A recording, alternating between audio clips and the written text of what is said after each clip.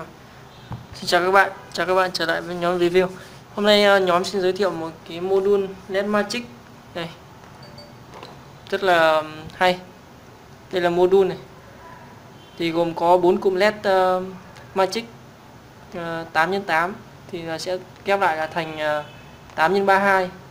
Um, sử dụng uh, IC uh, Mark 781 à 7219 uh, bộ này chuyên dùng cho Arduino thì ở đây mình có một chiếc một cái kit Arduino thần thánh.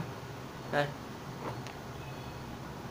Thì uh, hôm nay mình sẽ giới thiệu qua code về hiển thị chạy chữ như này cho các bạn xem. Đây code của mình đây. Thì uh, code đây mình cũng tham khảo ở trên mạng. Đây. Uh, nếu các bạn muốn ờ, tham khảo cốt này thì liên hệ mình mình sẽ gửi.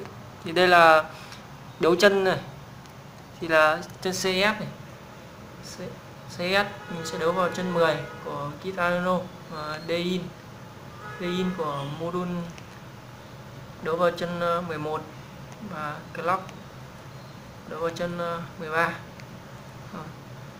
trên này là các cái thư viện mình sử dụng Vâng.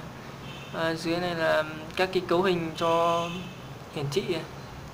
đây cấu hình lemmatrix cấu hình số dòng số số cột.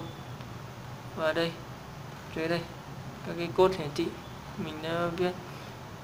Đây là cài đặt cái ờ, độ tương phản này. Thì ờ, nếu mà mình muốn hiển thị ra cái dòng gì ấy, thì mình chỉ cần viết vào đây các ký tự rồi các chữ này các số này.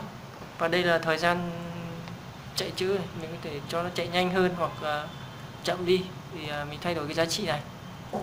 Đây ở đây thì mình viết là đây dòng này thì hiện tại đang chạy này.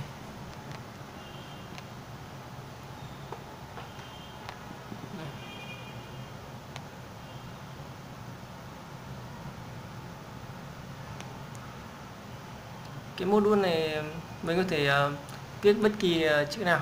Ừ, nhưng mà không biết được chữ ờ, chữ có dấu nhá. Chữ có dấu thì các bạn có thể uh, tạo phông khác.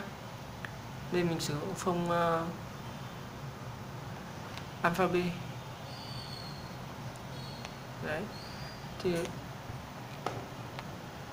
về cái cách nạp cho cái con uh, kit Arduino thì các bạn gửi lên mạng tham khảo hoặc là liên hệ với nhóm. Nhóm sẽ hướng dẫn nó sẽ hướng dẫn nha.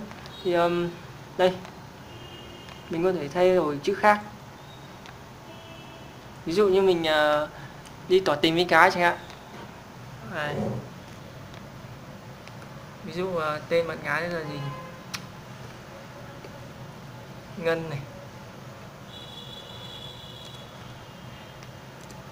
Chấm chấm chấm.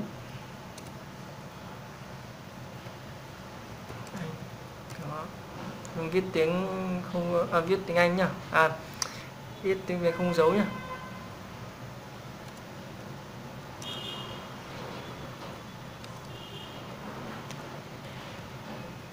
Rồi đằng sau các bạn muốn viết gì thì à, tùy. Đây mình demo thế thôi. Và tiến hành nạp